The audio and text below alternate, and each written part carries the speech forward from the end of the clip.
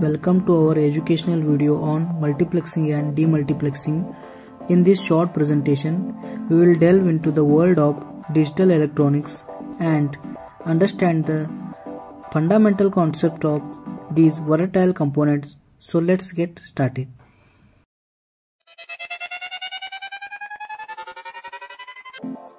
What is multiplexing? Gathering data from multiple applications, processes of the sender, involving that data with the header and sending them as a whole to the intended receiver is called multiplexing. What is demultiplexing?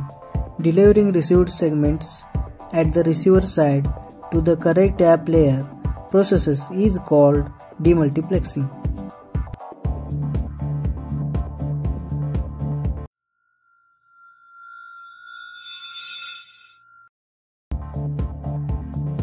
Multiplexing in computer networks.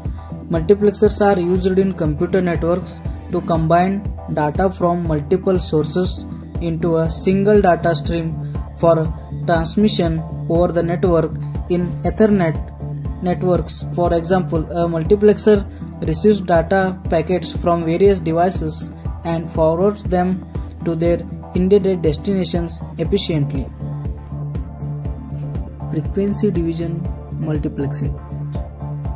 Multiple signals are combined for transmission on a single communication line or channel with each signal assigned to a different frequency within the main channel is called frequency division multiplexing or FDM. Second one, time division multiplexing. In time division multiplexing, method of putting multiple data streams in a single signal by separating the signals into many segments each having a very short duration is called time division multiplexing. Multiplexers and demultiplexers are widely used in various real-life applications for combining and transmitting multiple signals into a, a single line. Here are some more real-life examples of multiplexers and demultiplexers in action. Telecommunication systems.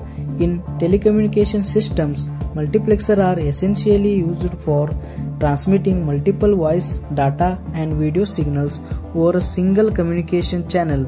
Time division multiplexing and commonly used techniques in telecommunication to combine multiple signals into a single stream for efficient data transmission.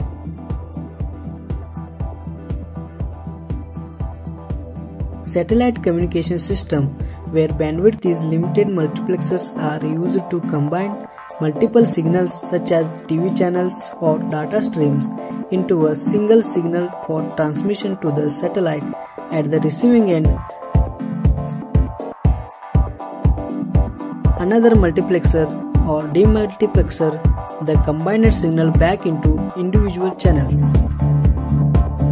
Television broadcasting in television broadcasting, a demultiplexer plays a crucial role in transmitting multiple channels to viewers. The signal received from a satellite or a cable contains multiple channels bundled together.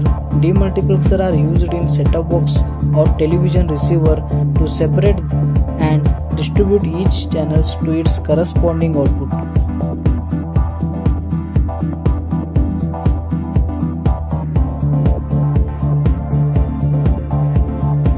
LED matrix display.